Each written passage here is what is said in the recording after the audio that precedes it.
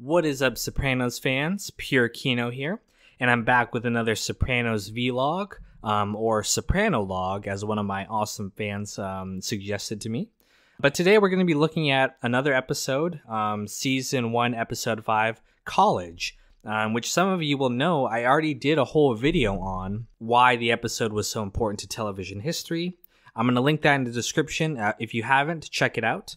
But in this one, I'm going to go over um, a lot of the details that I didn't get to focus on that first time around. So, to give a quick recap, the episode is about Tony taking Meadow um, on a trip to visit some colleges in Maine she's thinking of attending. Um, while he's there, he sees um, a former member of his um, crime family who turned informant and ratted on the family, and he decides he has to kill this guy. Um, but he has Meadow with him, and he can't kill the guy right with Meadow with him. He has to kind of hide it from her, um, which is complicated because he's being honest with her for once about um, the mafia and himself, and they're really connecting for once. Um, so that's putting a strain on their relationship too. That he has to to do this murder underneath her nose. Meanwhile, uh, Carmela is at home sick, and she uh, gets a visit from Father Phil they end up bonding. Um, they really connect. They start drinking. Things start to get a little intimate, uh, but before they can, he gets sick. Um, he's really drunk, and the night ends pretty awkwardly between the two of them. So, one thing I really didn't get to focus on last time was the Father Phil Carmela stuff, um, which I do think is pretty important. Um, you know, Father Phil, he is a spiritual mentor and a friend to Carmela.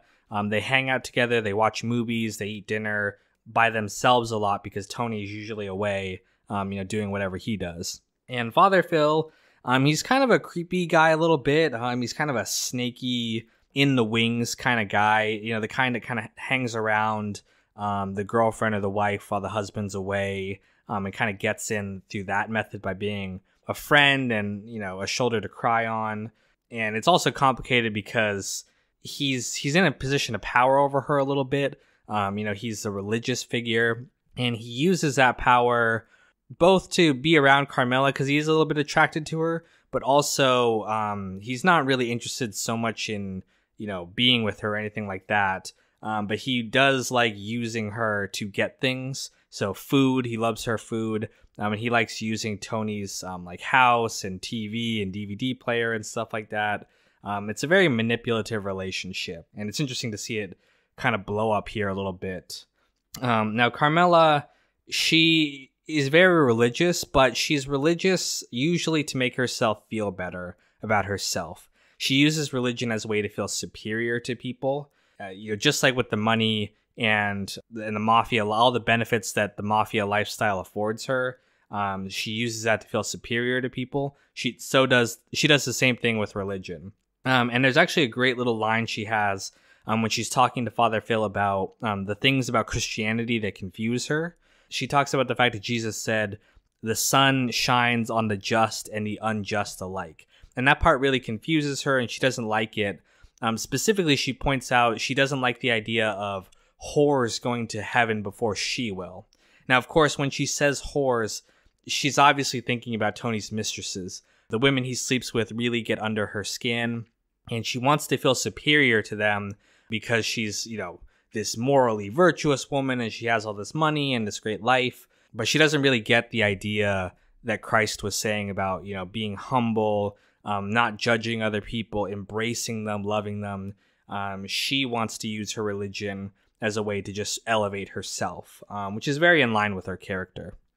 Now, she does have one moment of real um, honesty in this episode, which is when she starts breaking down and crying and confessing to Father Phil um, about what she's allowed to happen under her house. You know, she's accepted Tony's immoral ways because she wanted the money and she wanted all the benefits. But it's actually a real moment of honesty when she does that confession. Uh, it's one of the very few times she's really honest.